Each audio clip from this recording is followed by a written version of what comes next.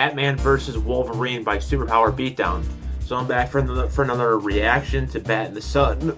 Um, and this time we're doing Batman versus Wolverine, and yeah, let's do this. To Superpower Beatdown. Batman versus Wolverine.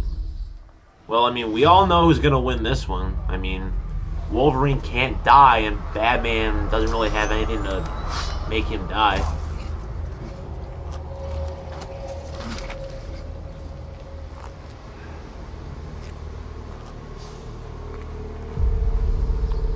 There's Batman.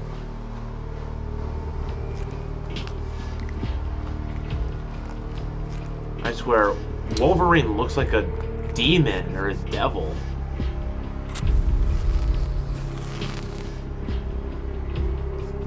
And plus, his mask kind of looks like Batman's mask, but with the horns and shit.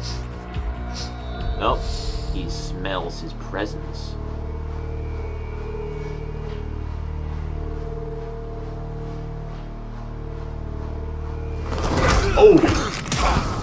Oh! There's Batman.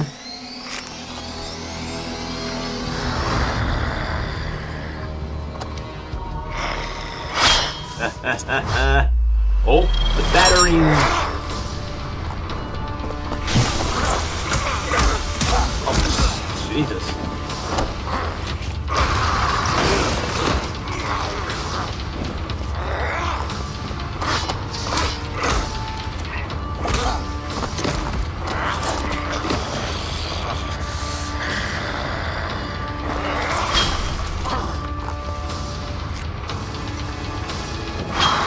Batman's a good fighter, but there's no way that he can...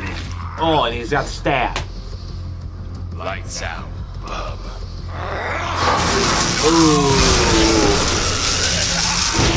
But no, he's not gonna die because he can't die. So that means that Batman's done.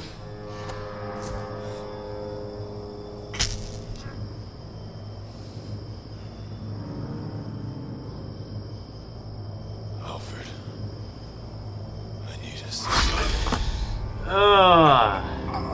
Shit. I heal real fast. Yep. True that. Wait, did that mean that, like, the middle finger or something? I don't know. And 48% vote for Batman. Yeah, Wolverine would win for sure.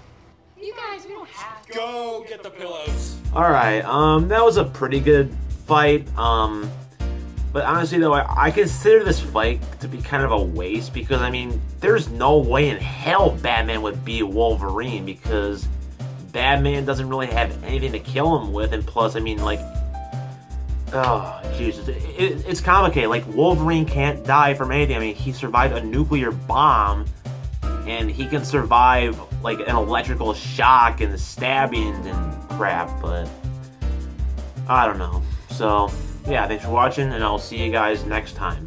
Bye.